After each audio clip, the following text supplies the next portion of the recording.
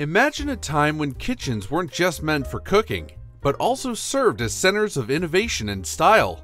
From coal stoves to Hoosier cabinets, but there are more old kitchen features that were once prevalent in every 1950s kitchen, which we want back. Take a journey back in time with vintage images. In the 1950s, coal or wood stoves were crucial household appliances that served as both cooking devices and major heat sources. Constructed of robust metal, they operated by manually feeding wood or coal into the stove to generate heat. Available in various forms, from practical to extravagant, these stoves added a touch of elegance to any kitchen or living room.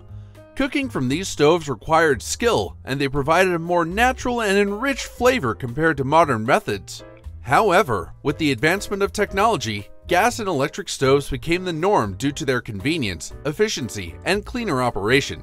Despite this, coal and wood stoves hold sentimental appeal for many, symbolizing a simpler and more efficient lifestyle.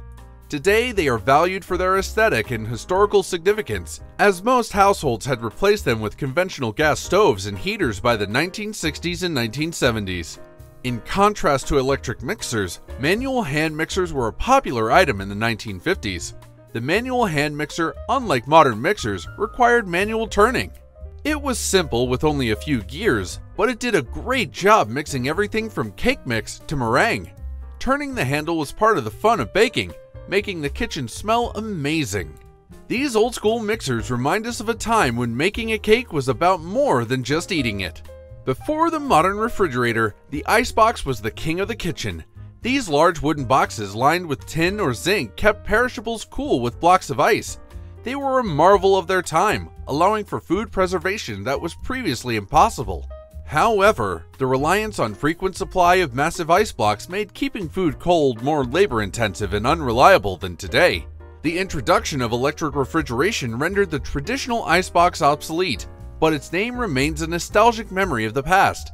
The icebox significantly influenced how families viewed meals and groceries. Before its widespread use, Food preservation methods included salting, smoking, and pickling. The icebox allowed for a wider range of goods, including fresh fruits and vegetables. The icebox industry grew due to the safe storage of dairy and meat at home, promoting a contemporary diet. During the winter, massive ice blocks were cut from frozen lakes and rivers and kept in insulated iceboxes for use throughout the year.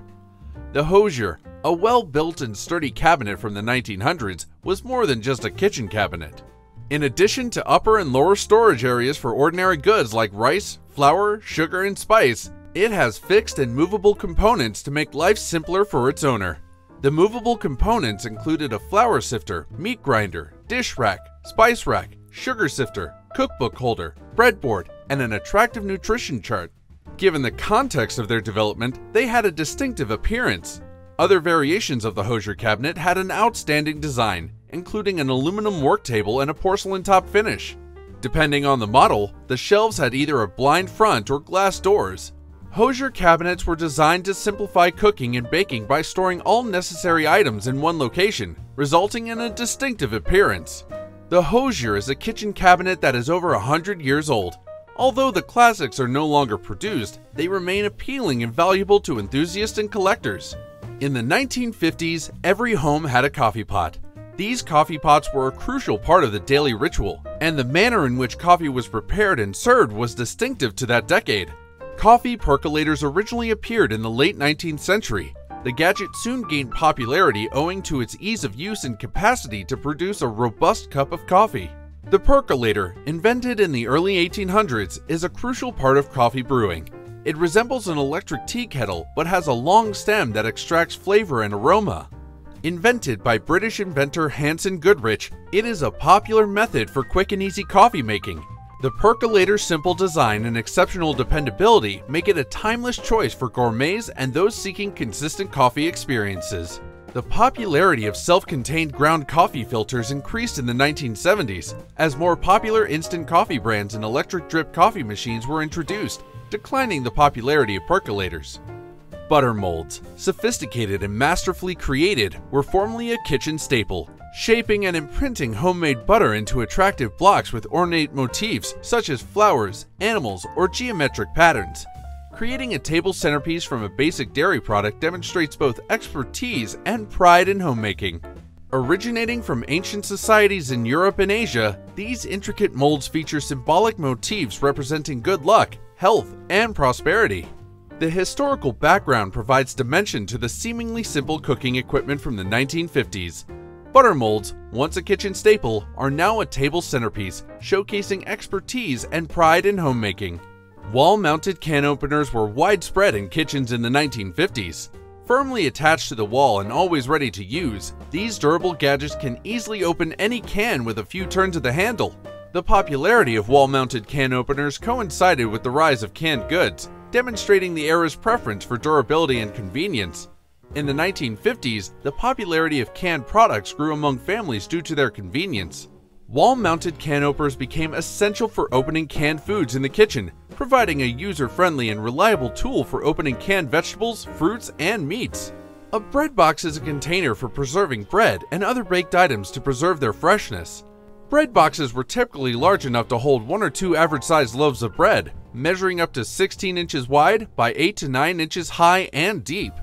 During the 1950s, family used to bake bread at home and the bread box provided a storage option that preceded preservative-laden store-bought loaves. Bread boxes were essential in the kitchen until bread was professionally produced with food preservatives and wrapped in plastic. Bread boxes are still used by many individuals to store commercial purchased bread, but they are especially popular among home bakers. Metal, wood, or ceramics are common materials for bread boxes.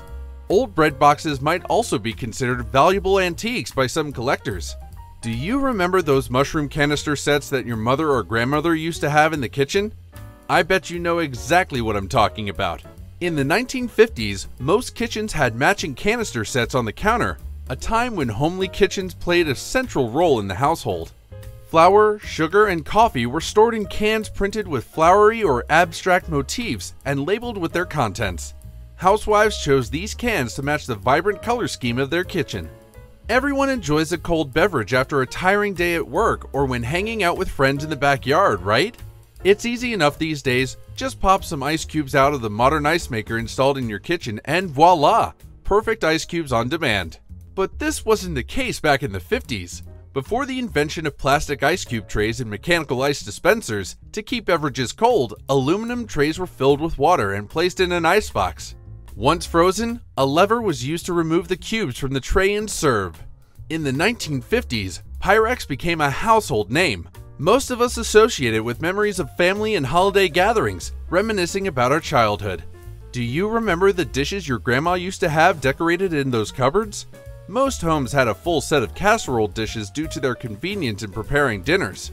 Pyrex dishes were designed for baking and available in various sizes. In the 1950s, possessing a set of pastel Pyrex dishes with a flowery pattern was considered a must-have.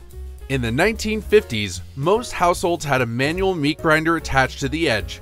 A manual meat grinder was necessary and used for grinding or mincing meat. With the help of the grinder, one could chop or grind meat into smaller pieces, which was convenient for preparing various dishes such as ground beef, sausages, or other meat dishes. It was not only a tool for food preparation, but also a reminder of a time when knowing exactly what was in your food was the norm. However, as prepackaged meat became more readily available and kitchens became more automated, this practice became less common.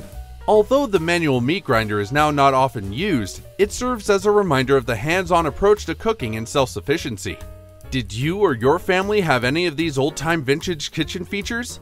Let us know in the comments section. If you enjoyed the video, don't forget to hit the like button, and remember to subscribe as you don't miss out on any of our future videos.